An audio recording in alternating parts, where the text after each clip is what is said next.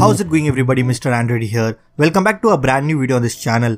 In today's video, I will be showing you how you can easily install more than 75 amazing fonts on your Samsung Galaxy device for totally free. Well, I have already made a bunch of videos on this topic, but still some of you guys find it quite difficult to follow all these steps and apply these fonts. So now you don't have to worry because I was able to find a very simple method by using which you can easily apply different fonts on your Samsung device. It doesn't require root or even you don't have to do backup and restore. So if you really want to apply fonts on your Samsung device, then make sure you guys watch this video till the very end. Also let's aim for 1500 likes on this video. So drop a like and let's get started.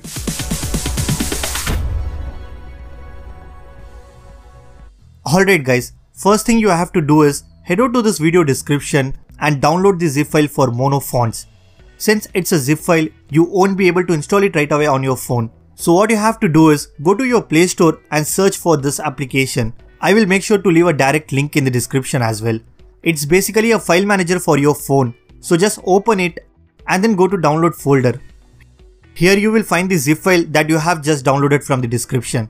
Now simply extract the file and then just go inside the monofonts folder that you have just extracted. Here you will see the APK file on the top. Select it and then tap on this install button to install it on your phone. Once you have done all this, now if you go to your app drawer, you will see this brand new application called Mono Fonts. Within the app, you will see 70 different fonts that you can easily apply on your phone. If you like any of these fonts, you can easily install it within this application itself.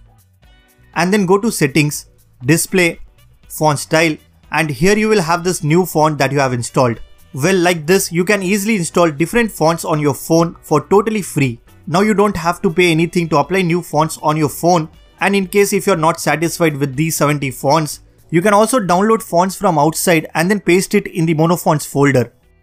So that's pretty much it guys. This is how you can easily apply 70 different fonts on your Samsung phone.